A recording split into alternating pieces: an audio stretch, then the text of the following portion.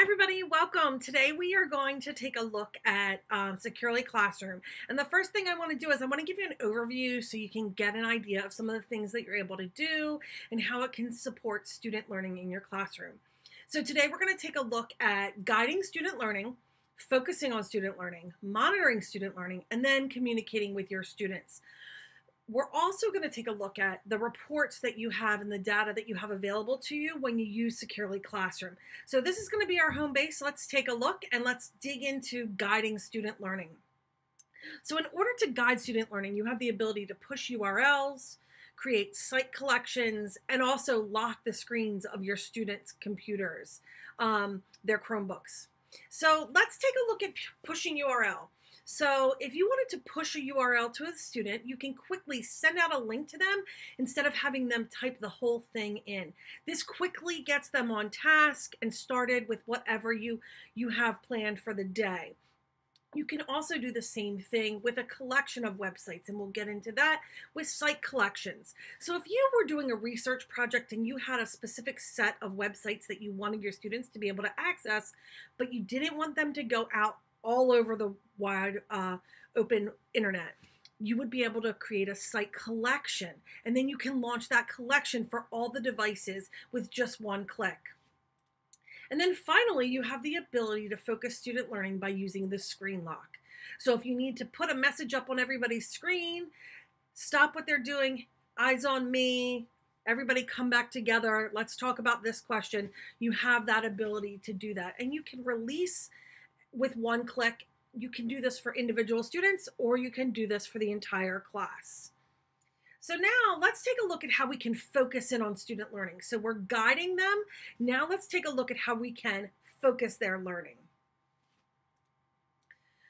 We have the feature Site Lock, we have tab control, and a custom block link is going to help you focus your student learning. So um, the Site Lock is similar to the Screen Lock, except this time you're locking the students into a specific website. This can also be a collection because we talked about creating collections in the last section. So you can lock students into a, a separate uh, collection of websites and keep them there. This can be used for students individually, the whole class. You can use this um, for specific groups of students as well. Tab control is a great view. This lets you see all of the tabs that are open on a student device and select any that you may feel are not allowing the student to focus on their learning and you can close them. You can also create a custom block link. So if there is a website that you would like blocked that is not currently blocked by our district uh, filter, you can create that blocked link yourself. So now let's take a look at how can we monitor student learning by leveraging Schoology Classroom. So we can monitor by having the screen view, the tab view, as well as the student's browsing history. So screen view lets you see a thumbnail view of all the screens of everyone in your class. There is a little bit of a delay. It's not instantaneous. It's a couple seconds behind, but you can see what the students are looking at on their screen. Now that will be their top view.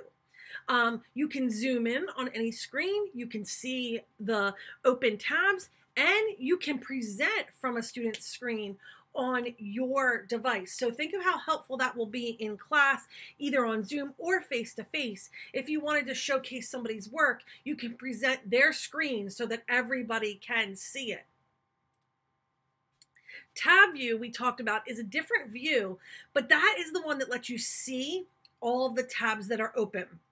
You can open, you can close um, tabs that they have open, but no, those two views are going to help you as you're monitoring students' work. So you can look at the screen view and then you can switch to the tab view. And it's this little click right here. And we'll go through that in the module.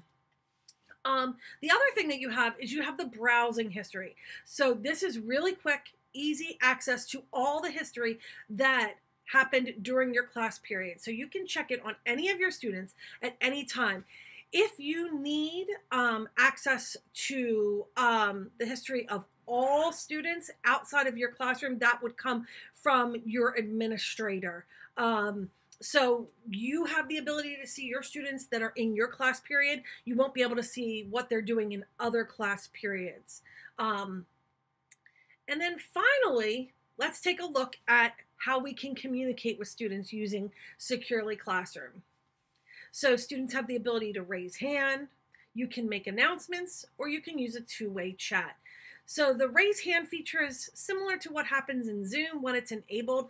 You, the student can quickly get the teacher's attention without drawing a lot of attention to themselves. It's really good for those shy students, and a special alert will appear on the, uh, the teacher's screen.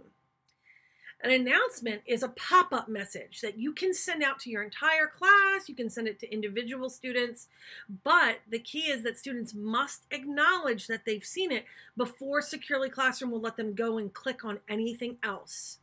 Um, and it's just a little pop-up. It looks like this one right here on the screen. There's also a two-way chat feature. Private chat between you and a student. Um, you can enable this so students can reach out for help uh, students are not able to communicate with each other, only with the teacher. Uh, but this is a great way if you need to talk to somebody privately and you don't want to um, call them out in front of the whole class. Excellent way to communicate as well. And it's also great that the students cannot communicate with each other. So let's take a look at some of the reports that you have access to.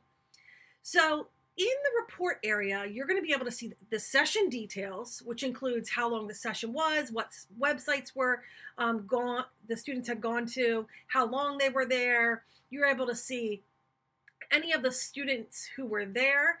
Um, I'm going to mention this right now, but I also want to bring this up later in our module as well.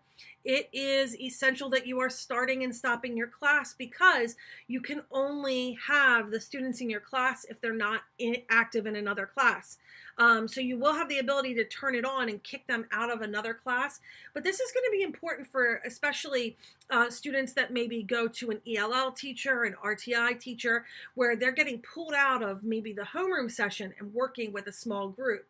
So if the RTI teacher, the the uh, special ed teacher wants to use them, if you're a homeroom teacher, please make sure that you're cognizant of who is in your class.